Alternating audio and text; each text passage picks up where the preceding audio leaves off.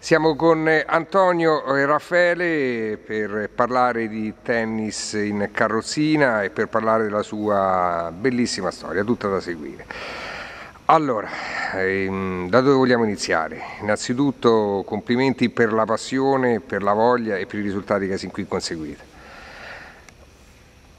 La tua storia.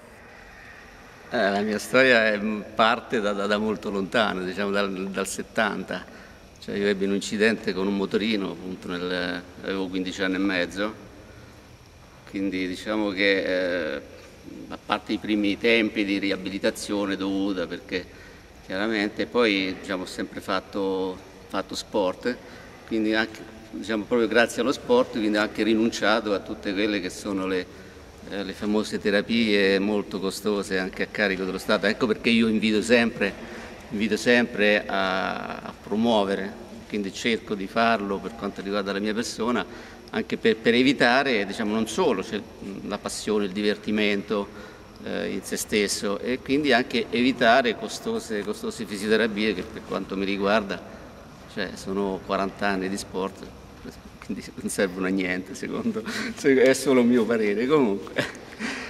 Mm, perché scegliesti il tennis oppure hai fatto Ma, anche altre discipline? Mm, allora, io i primi per almeno 14-15 anni abbiamo giocato a basket, una decina di anni appunto con la squadra viterbese, eh, 5-6 anni sono andato un po', un po', a Roma, un po' a, mm, in Abruzzo, un paio di anni a Foligno, quindi poi, diciamo, poi alla fine ho smesso appunto grazie al tennis che appunto sono venuto a conoscenza tramite, tramite amici, ho voluto provare, tant'è vero che iniziamo mai diversi anni fa, forse una ventina, proprio con, proprio con Forniti, iniziamo e quindi diciamo, ho avuto un po' di esperienza diciamo, nei primi anni, così diciamo, proprio all'inizio eh, con Forniti. Poi ho cominciato diciamo, a girare un pochino le, le varie associazioni eh, in Italia che cioè che mi mettevano in condizione diciamo, di, potermi,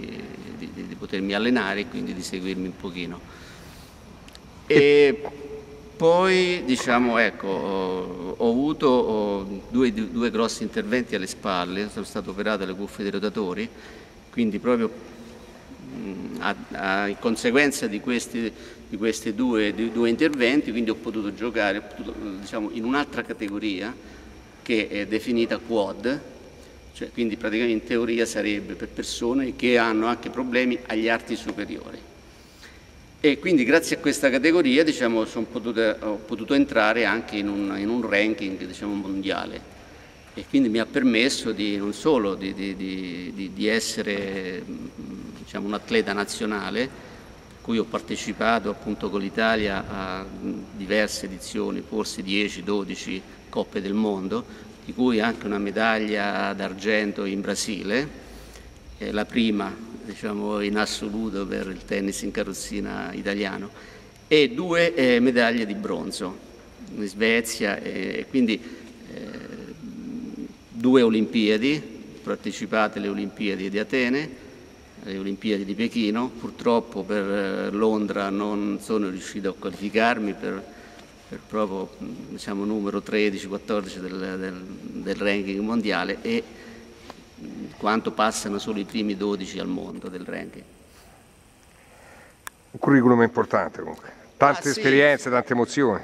Sì, sicuramente, sono sempre stato ai vertici del, diciamo, delle classifiche mondiali, sono sempre stato diciamo, nei top 10 eh, di, di, singolo. Nel doppio addirittura anche, siamo stati anche numero 2 al mondo, con un altro ragazzo, un mio compagno di Grosseto, Polidori, e quindi diciamo, ci siamo tolti belle, belle soddisfazioni. Ho partecipato a almeno 10 edizioni del, di un master di doppio, la mia classifica attuale di doppio è numero 10, di singolo 14. Quindi spero di, io spero sempre di, di, di poterla, poterla, migliorare.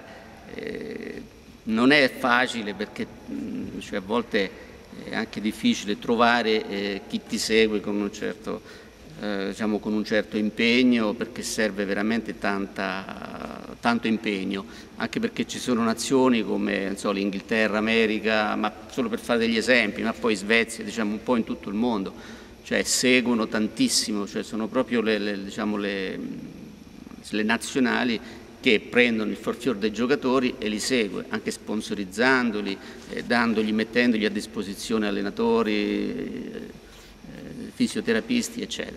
Ecco, capito lo sponsor e qui diciamo, iniziano un po' i problemi. Allora, capito lo sponsor e me, io sinceramente non, forse avevo anche i titoli per poter chiedere, però non, personalmente non l'ho mai fatto, non, non, ho avuto mai nessuno che, mi, che diciamo, sia interessato a questo, per cui diciamo, niente, che un po' a, a, carico mio. Ho la fortuna che appunto giocando in questa categoria, quindi giocando nei, nei massimi eh, diciamo, livelli di, di, di, di, tornei, c'è la possibilità di, diciamo, di un famoso prize, chiamiamolo prize money, cioè un premio in denaro, però diciamo, è più un rimborso spesa che, che non altro, per cui diciamo, che ammortizzo quasi sempre le spese, quindi già questo, forse proprio grazie a questo, cioè, mi permette di, di, di, continuare, perché sarebbe eh, impossibile, perché come tutti sappiamo cioè il tennis è molto molto costoso. Quindi, Viaggi aerei, trasferte, normale, eh, materiale, sì, certo. Quindi ho detto grazie a questi rimborsi, cosiddetti rimborsi, probabilmente riesco quasi sempre eh, ad andare pari, a volte guadagni anche cioè, 100 euro, a volte ce li rimetti, però alla fine facendo un bilancio siamo, siamo lì, insomma, quindi, non, quindi proprio grazie a questo diciamo, sono invogliato tantissimo a, a, continuare. Ecco, ricordiamo la tua società attuale.